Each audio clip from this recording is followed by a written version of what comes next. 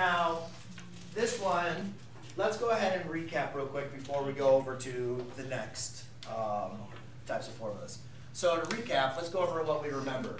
And this is what everybody should have written down. Is that a parallelogram? Okay? Any parallelogram. Doesn't matter if it's a rectangle, a square, it just has two sets of parallel lines and things. The area of a parallelogram is going to be area equals base times height. So whatever the orientation of the figure, figure it out so you can determine what the base is and what the height is, and then multiply them. Then we talked about triangles.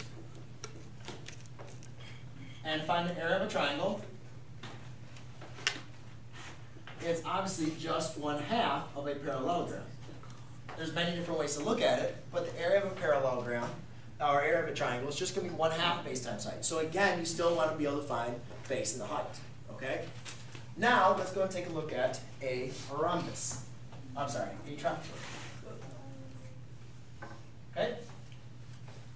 Now, when we look at a trapezoid, see the thing is with the parallelogram, is when you look at a parallelogram, these two bases, or these two um, sides are exactly the same, right? Parallelograms have opposite equal sides. Correct, Mario? Would you agree with that? Mm-hmm. So if I say, hey, here's the base, well, I could also say that was the base, because they're the same distance, right? They're the same length.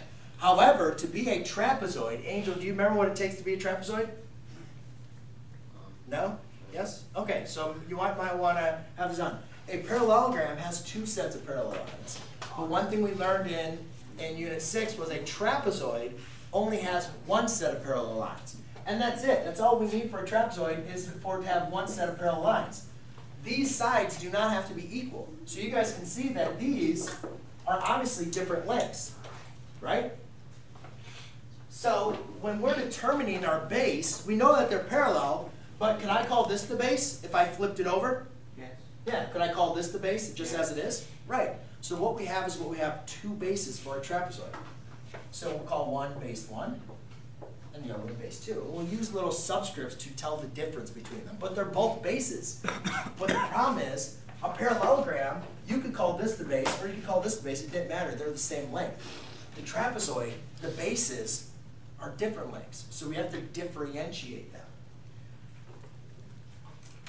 And um, then finally we have our height, which again is the diagonal going to produce our height, Taylor, No. or should this produce our height? Which one's going to produce the height? Either way. That one. Well, let's think about it, Taylor. Again, you're going to measure me, see how tall I am. I'm five foot nine on a good day, five foot eight on a bad day. Okay? If you're going to measure me, where are you going to put the bottom of the tape measure? She's not. Bottom of my feet, right? And go straight up. You're not going to put the tape measure over there, are you? And then measure to my head? Mm-hmm. No. So remember, when you guys see this slant diagonal, this, if I say that's 8 and that's 5, which what is actually the height of the trapezoid? 5, right? It's not the diagonal. So just be very careful because you guys are going to be provided this information a lot. And they're going to want to see if you'll kind of snatch on the bait. All right? So, this is going to represent our height. So therefore, the area of a trapezoid, which you want to make sure you have written down. So for our trapezoid, let me write it down actually. Trapezoid, area equals one half height times base one plus base two. So what you're going to do is actually add the bases, multiply it by the height, and multiply it by one half. Alright? Now, you guys let me know.